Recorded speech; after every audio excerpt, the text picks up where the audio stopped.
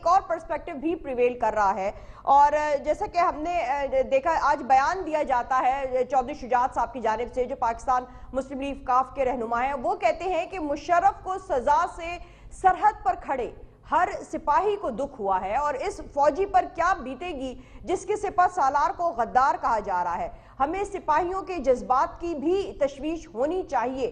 تو اب یہ یہ سینٹیمنٹ بھی پایا جا رہا ہے اس فیصلے کے آنے کے بعد کہ جو پاک افواج ہے یا جو ہمارے فوجی ہیں، ہمارے جو سپاہی ہیں، جو اپنے جان کی قربانی پیش کرنے کو حاضر ہیں ہمارے دفاع کے لیے، ملک کے دفاع کے لیے، ان کے سامنے یہ فیصلہ جو ہے یہ کس طرح سے وہ اس کو ابزارب کریں گے؟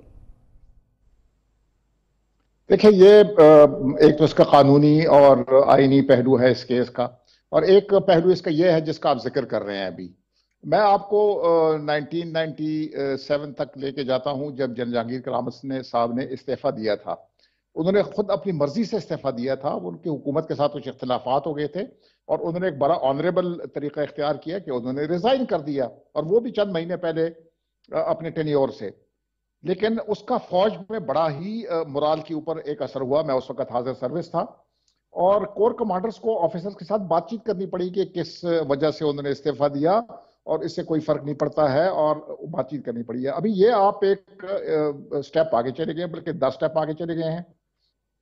ایک آرمی چیف کو غدار ڈکلیئر کیا جاتا ہے۔ ابھی جو ینگ آفیسر ہے یا جو رینک اینڈ فائل ہے ان کو یہ پیچیدگیوں کا نہیں پتا ہے کہ یہ آرٹیکل سکس کیا چیز ہے یا ایٹینتھ امینڈمنٹ کے بعد یہ ٹریزن بن گیا ہے، اس سے پہلے ٹریزن تھا یا نہیں تھا، اس کے اوپر شک ہے۔ لیکن وہ یہ سوچتے ہیں کہ جس آدمی کو وہ سلوٹ مارتے تھے، جو آرمی چیف تھا چیئرمین جوائنٹ چیف تھا پریزیڈنٹ آف پاکستان تھا جس کے ایک حکم کے اوپر وہ اپنی جان خطرے میں ڈال کے وہ مہم پہ جاتے تھے، وہ ایک دم جو ہے ایک غدار ہو گیا ہے۔